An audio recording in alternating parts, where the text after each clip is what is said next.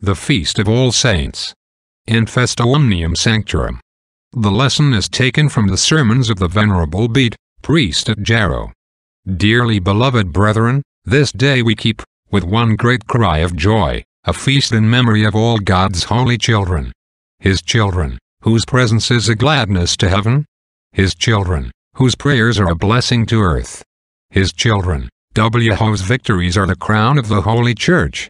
His chosen, whose testifying is the more glorious in honor, as the agony in which it was given was the sterner in intensity, for as the dreader grew the battle, so the grander grew the fighters, and the triumph of martyrdom waxed the more incisive by the multiplicity of suffering, and the heavier the torment the heavier the prize. And it is our mother, the Catholic Church, spread far and wide throughout all this planet, it is she that hath learned, in Christ Jesus her head, not to fear shame, nor cross, nor death, but hath waxed lealer and lealer, and, not by fighting, but by enduring, hath breathed into all that noble band who have come up to the bitter starting post the hope of conquest and glory which hath warmed them manfully to accept the rays. Of a verity thou art blessed, O my mother the Church. The blaze of God's mercy beateth full upon thee. Thine adornment is the glorious blood of victorious martyrs, and thy raiment the virgin whiteness of untarnished orthodoxy.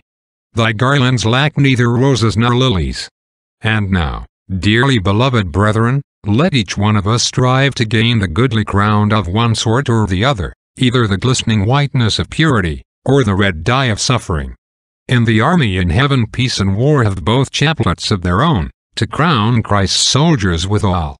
Moreover, to this also hath of the unutterable and boundless goodness of God seen, that he spreadeth not the time of working and wrestling, neither maketh it long, nor everlasting, and, as it were, but for a moment, so that in this short and scanty life there is wrestling and working, but the crown and the prize is in the life which is eternal. So the work is soon over, but the wage is paid forever. And when the night of this world is over, the saints are to see the clearness of the essential light, and to receive a blessedness outweighing the pangs of any torment, as testifieth the Apostle Paul, where he saith, The sufferings of this present time are not worthy to be compared with the glory which shall be revealed in us. Oremus.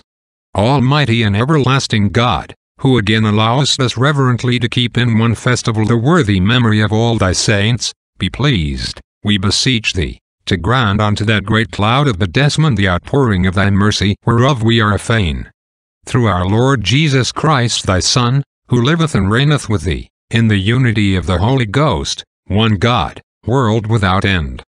Amen.